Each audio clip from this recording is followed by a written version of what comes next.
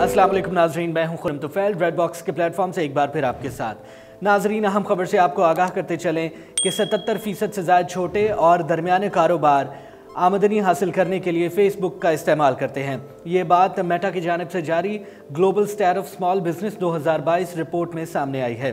इस हवाले से तफसीत से आपको आगाह करते चलें कि 30 ममालिक और खत्ों से ताल्लुक़ रखने वाले चौबीस हज़ार एम बी एम रहनुमाओं के सर्वे पर मबनी रिपोर्ट का मकसद उन इदारों को मुआवनत फराहम करने के लिए तहकीक और पॉलिसी सपोर्ट के लिए तफसीत इकट्ठा करना था।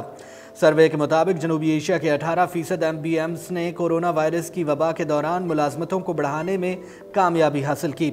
सबसे ज़्यादा शरह पाकिस्तान में रिकॉर्ड हुई, जो 26 फ़ीसद रही, जबकि भारत में ये शरह महज 9 फ़ीसद थी।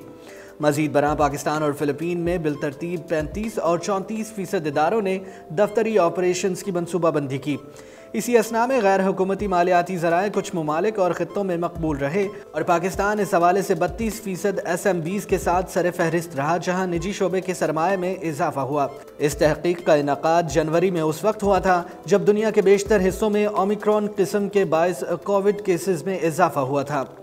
अब तक के लिए इतना ही। मजीद बाखबर रहने के लिए रेड बॉक्स यूट्यूब चैनल को सब्सक्राइब करना और बेल आइकन को प्रेस करना मत भूलिएगा, क्योंकि रेड बॉक्स ज़रूरी है।